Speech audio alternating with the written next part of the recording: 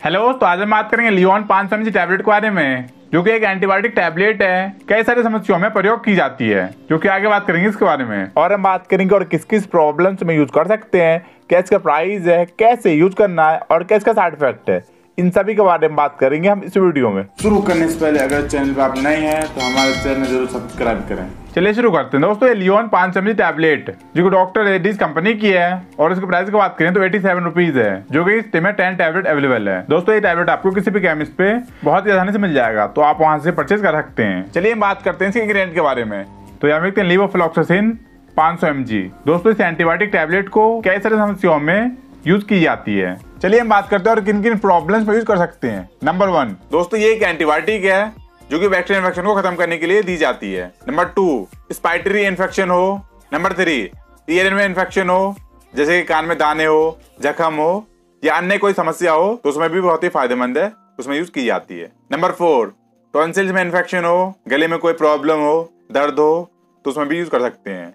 ये एक एंटीबायोटिक है, बहुत ही अच्छा रिज़ल्ट है। नंबर फाइव आइज़ में इन्फेक्शन हो नंबर सिक्स फेफड़े में कोई इन्फेक्शन हो तो उसमें भी डॉक्टर द्वारा प्रयोग की जाती है। नंबर सेवन निमोनिया हो। नंबर एट यूरिन में इन्फेक्शन हो, पेशाब के रास्ते कोई दिक्कत, कोई प्रॉब्लम हो तो उसमें भी बहुत ही फ़ायदेमंद है, उसमें यूज़ की जाती है। नंबर नाइन स्किन में कोई इन्फेक्शन हो। नंबर टेन किसी भी तरह के जख्म हो तो उसको ठीक करने के लिए भी प्रयोग की जाती है। नंबर इलेवन कोल्ड हो फीवर हो, खांसी हो तो उसमें भी बहुत ही फ़ायदेमंद है।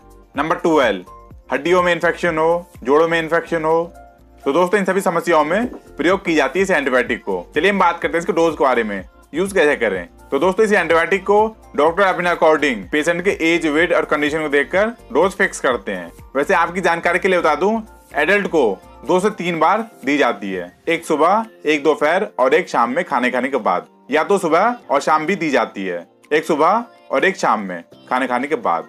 तो डॉक्टर अपने अकॉर्डिंग डोज को घटाते भी है और बढ़ाते भी है। पेशेंट के कंडीशन को देखकर। चलिए हम बात करते हैं इसके प्रिकॉशन के बारे में। अगर ये आप यूज़ करें तो ये बातें ध्यान रखें। नंबर वन इस एंटीबायोटिक को ओवरडोज ना लें।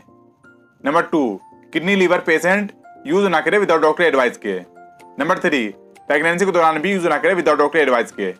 नंबर फोर यूज़ करने से पहले डॉक्टर से कंसल्ट ज़रूर कर लें इसके बारे में। चलिए हम बात करते हैं इसके साइड इफ़ेक्ट के बारे में। तो दोस्तों, इस एंटीबायोटिक के कोई बड़ा साइड इफ़ेक्ट नहीं दिया गया है।